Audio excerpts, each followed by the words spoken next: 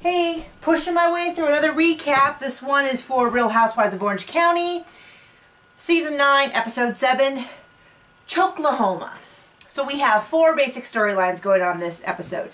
First off, uh, Tamra discovers that her son is uh, taking human growth hormones. And she's like, are you getting it from a doctor? And he's like, no. She's like, are you, you know, where are you getting it? Uh, from a parking lot? And he's like, yeah, yeah, that's it, from a parking lot.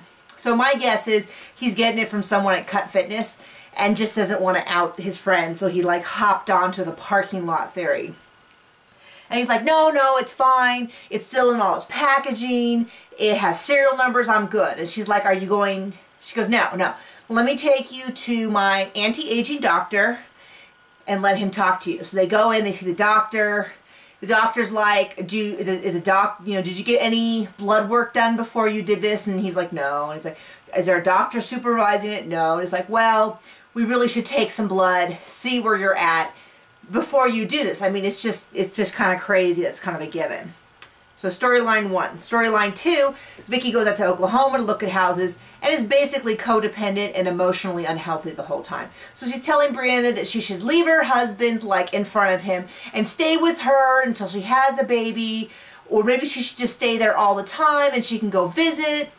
It's just kind of ridiculous and it's just unbelievably, just checking, unbelievably unhealthy and painful to watch. Storyline two.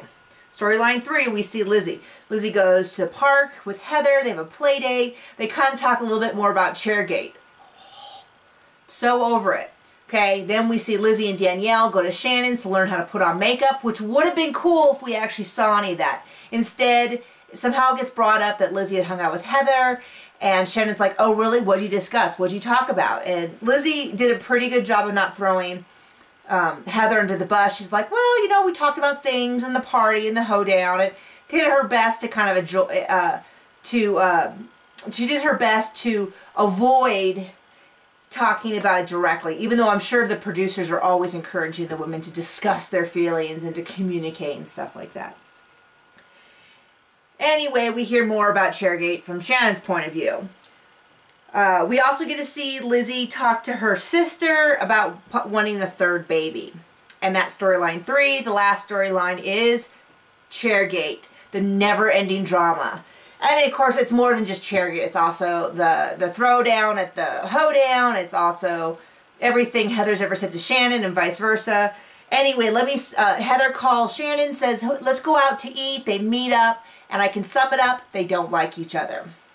That's all I can really say. They nitpick each other. Neither one will give an inch.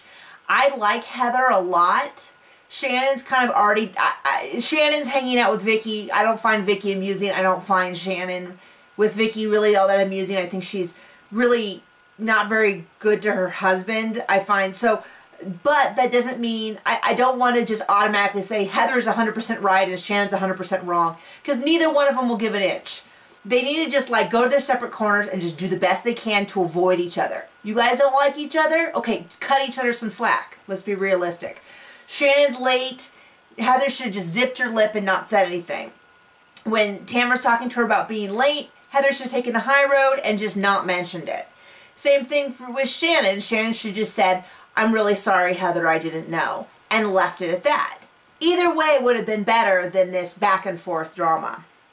That's just my opinion. I don't find this really all that compelling of a storyline. I am over this, over this. Let him do a fashion show. Let him start a new business. I don't care. Just something else other than we saw the entire season of Real Housewives of Beverly Hills with this. Now we just go straight to OC. We went to first went to New York and that's all I saw there. I can barely stand it. Now we're here. I'm over it. Maybe I've just moved Maybe I've matured, but that's really doubtful. Anyway, I will see you guys soon.